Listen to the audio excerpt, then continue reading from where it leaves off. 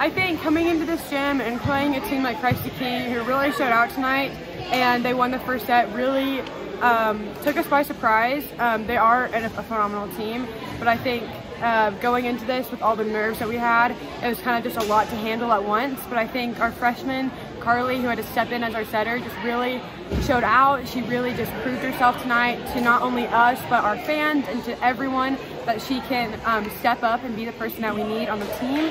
I think it was super important for us to um, overcome that obstacle with all the stuff that's going on in our team right now. And I think the rest of the game, once that first set was over and we'd created that bond, that connection with Carly, um, it was just in game. I think we pulled it together. We were all calm.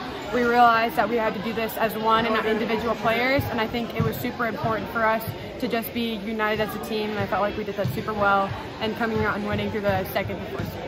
Okay, I think all, I just want to say first and foremost, kudos to Christ the King. They showed up, they had a great game plan. They really got us in that first set. I felt like we couldn't put anything away. They really challenged all of our hitters. Natalie was having trouble putting it away. Bella was having trouble.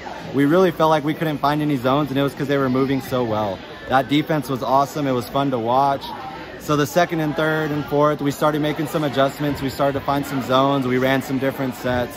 And just the biggest thing is from tonight, my biggest win was seeing our freshman setter. We had a lot of things going on our gym this week, and that freshman, Carly Flores, stepped in.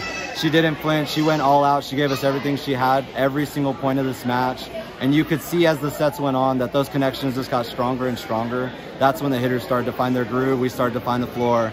And then next thing you know, we're feeling comfortable. We're playing our brand of KPA volleyball.